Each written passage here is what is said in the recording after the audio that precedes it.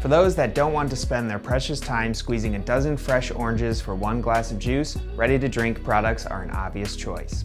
Canned or bottled beverages provide convenience and deliver tasty experiences for on-the-go consumers.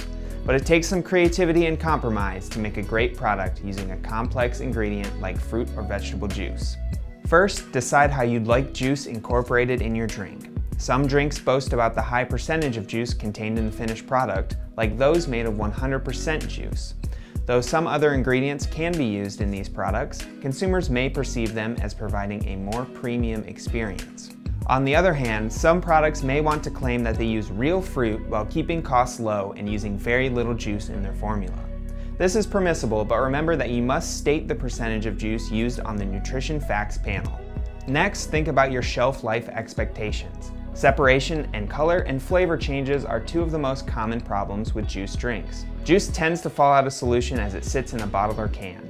This may create an unpleasant appearance or even a bad experience for a consumer that forgets to shake the contents before enjoying.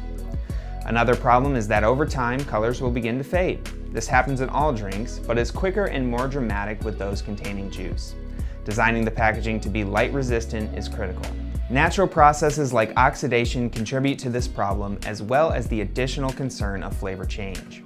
Over time, juice degrades which can create unpleasant flavors you won't want your customers tasting. You may find that your product sits on shelves longer than expected, which could force you to gamble on the quality of the product or take it off the shelf altogether. Finally, you will need to take into account the possible extra steps needed to produce, store, and ship your drink. Because of the high nutritional content of juice, microorganisms thrive if not properly treated.